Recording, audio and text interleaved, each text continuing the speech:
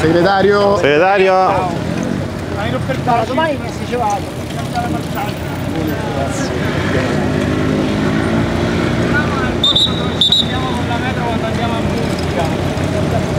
È una pedalata per un ricordo.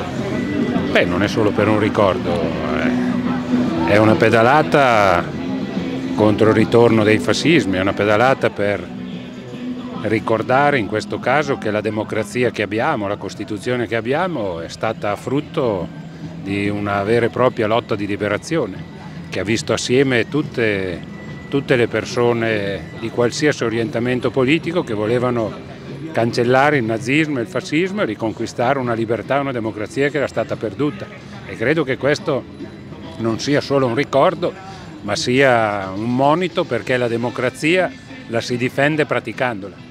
E la mia presenza qui e della CGL è per ricordare da un lato che il movimento dei lavoratori, il movimento operaio ha dato un contributo decisivo per riconquistare la democrazia e come esista un nesso molto stretto tra il lavoro e la democrazia. Quando i diritti nel lavoro vengono cancellati, quando il diritto di sciopero viene negato, quando aumenta la precarietà, quando si indeboliscono i diritti nel lavoro, si indebolisce anche la democrazia.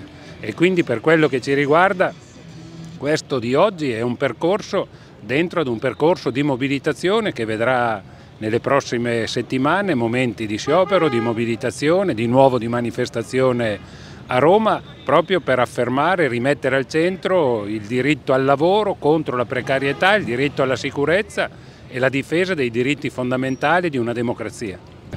Quando ad esempio ormai il 50% dei cittadini a votare non ci va, vorrei ricordare che uno degli elementi della democrazia e della sconfitta del fascismo e del nazismo è stato proprio riconquistare il diritto al voto e il diritto a partecipare, così come la democrazia si sostanzia, insisto su questo, sul lavoro, cioè che le persone possano attraverso il lavoro vivere dignitosamente, essere liberi e soprattutto poter partecipare alla vita democratica del Paese.